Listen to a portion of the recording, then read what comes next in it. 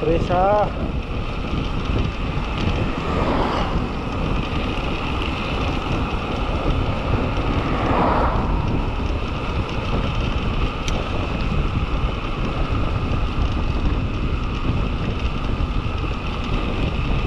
No, pala está más entera que yo.